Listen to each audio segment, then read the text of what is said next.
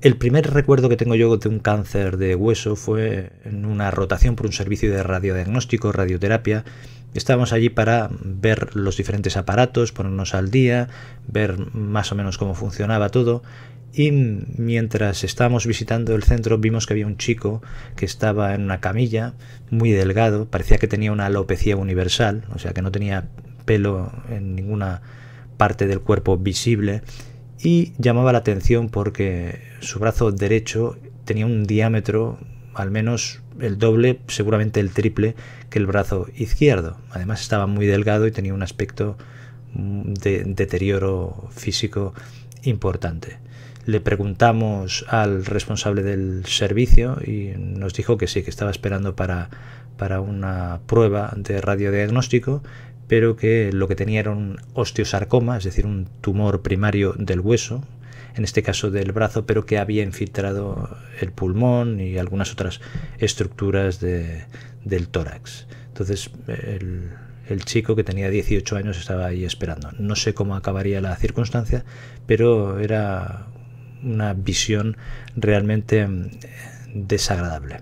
En realidad el cáncer más frecuente que se puede encontrar en el hueso es la metástasis ósea. Pero esto no es en realidad un cáncer del hueso, sino que es un cáncer de otra parte del cuerpo, que puede ser la mama, un cáncer de pulmón, cáncer de riñón, cáncer de próstata o melanoma, que ha migrado este cáncer, células cancerosas de estas partes del cuerpo han migrado hacia el hueso, se han asentado en alguna zona del hueso y han empezado a proliferar.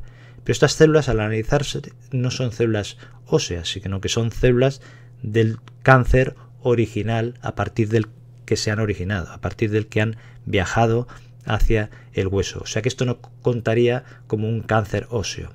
Después tenemos otro tipo de cáncer que se puede presentar en el hueso que se da en la médula ósea. El hueso tiene una parte que es más compacta y esponjosa por la parte de fuera, es la parte más dura, luego una parte un poquito más esponjosa y por el centro tiene una cavidad medular, en donde está la médula ósea. Esto en general.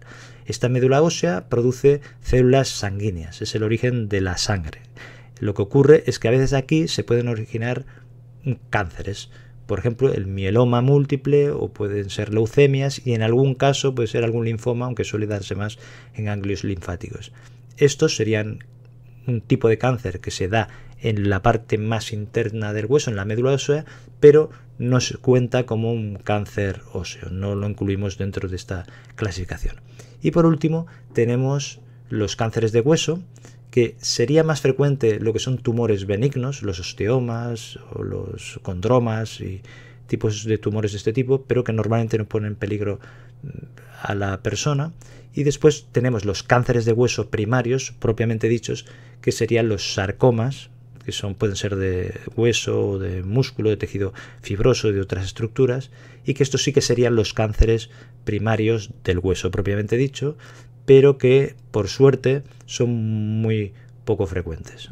Estos tipos de cánceres maligno de hueso se clasifican según el tipo de células a partir de las que se forman y también de la afectación de los tejidos que están adyacentes. Hay diferentes tipos, diferentes clasificaciones, pero los más frecuentes son tres dentro de su rareza.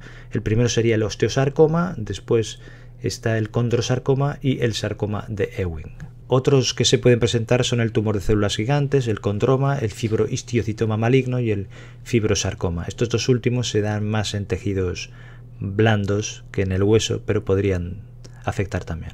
¿Cuáles son los síntomas del cáncer de hueso? Lo típico sería el dolor con un bulto en la zona del hueso que esté afectado. A veces cuando palpas también puede haber dolor en la zona de alrededor y hay que ir con cuidado sobre todo en gente joven porque a veces este dolor se puede atribuir a la actividad física o a dolores relacionados con el crecimiento y esto retrasar el diagnóstico. Otro síntoma que a veces se puede presentar es una fractura que no esté justificada, o sea, que sea espontánea o que sea por algún tipo de ejercicio físico habitual, que no sea exagerado y de repente sufra la persona una fractura, sobre todo si es una persona joven, esto hay que mirar que no sea un cáncer óseo lo que está por detrás de esta fractura. Después puede haber otros síntomas mm, en situaciones más avanzadas, como que empiece con un cansancio extremo, con una pérdida de peso inexplicable o incluso que pueda tener febrícula o fiebre. ¿Cuáles son las causas del cáncer de hueso primario? En realidad, en la mayor parte de los casos no se sabe cuál es la causa aunque hay algunos factores de riesgo, como por ejemplo el haber sido sometido a radioterapia de forma precoz en la infancia o a quimioterapia o algún trasplante de células madres eh, hematopoyéticas, es decir, de, células de la sangre, que se ha visto que hay un pequeño porcentaje que podrían tener más riesgo de desarrollar el osteosarcoma. Sería, en el caso de la radioterapia, al recibir altas dosis a una edad precoz en la zona correspondiente en la que está el hueso, pero que el cáncer era de otro tipo. Entonces esto podría afectar de forma que con el tiempo lo desarrollen.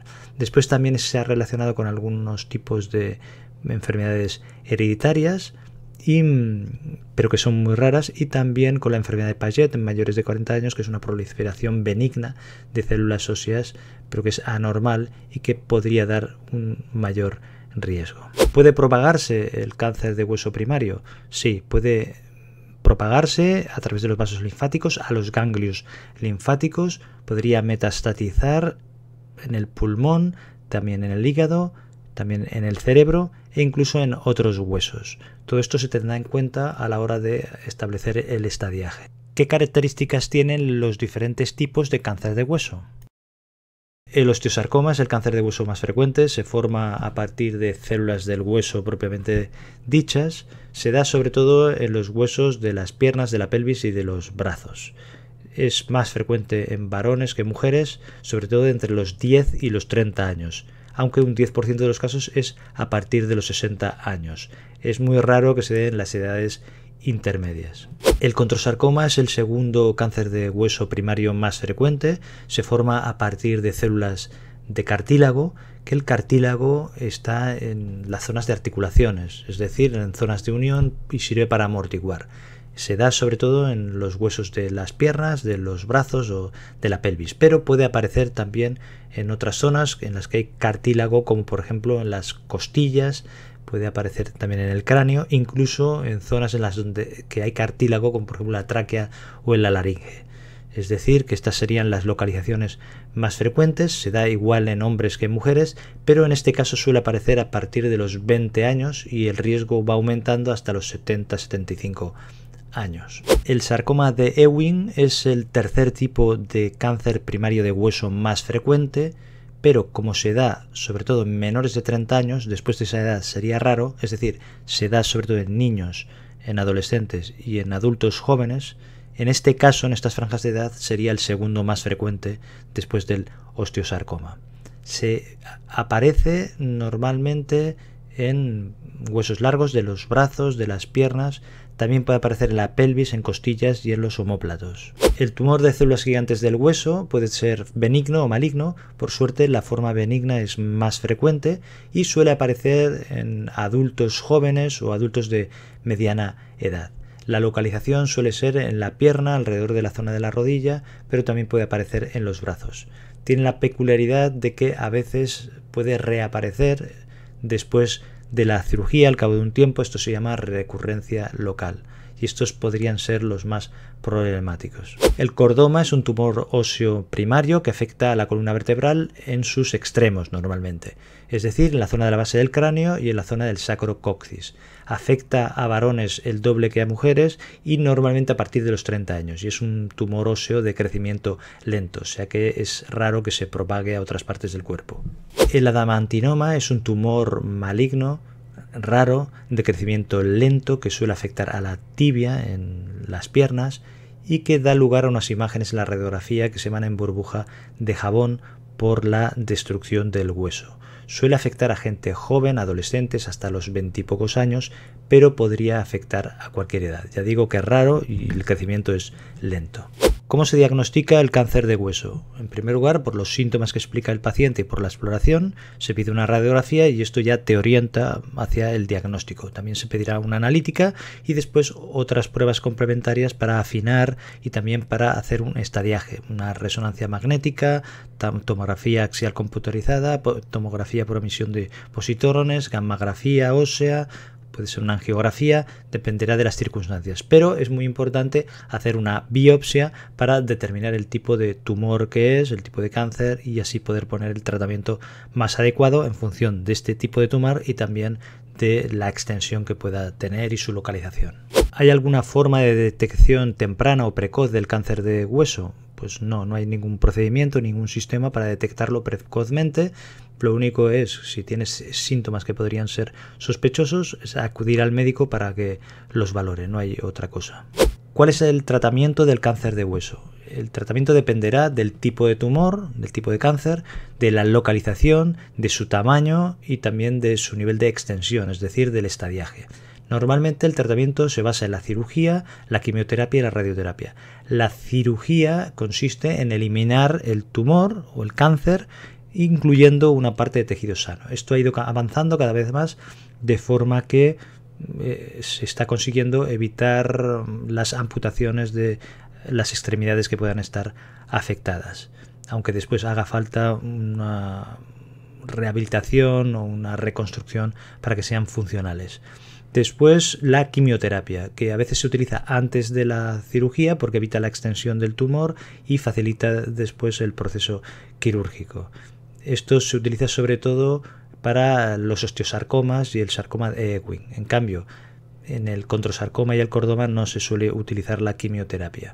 Después está la radioterapia, que también se puede utilizar antes de intervención quirúrgica, porque se puede valorar que puede ayudar después a la intervención y que sea más fácil para el tumor, o a veces después de la intervención se han quedado restos del tumor.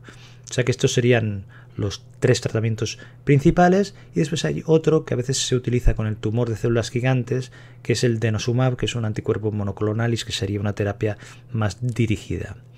Este tratamiento en realidad se ha de hacer y se ha de pautar de una forma multidisciplinar a través de un comité de tumores en el que hay especialistas de diferentes disciplinas y se valora conjuntamente cuál es el tratamiento y qué es lo mejor para el paciente. Te dejo aquí otro vídeo que te puede interesar sobre temas de salud. Muchas gracias, un abrazo, cuídate y hasta el próximo vídeo. Nos vemos.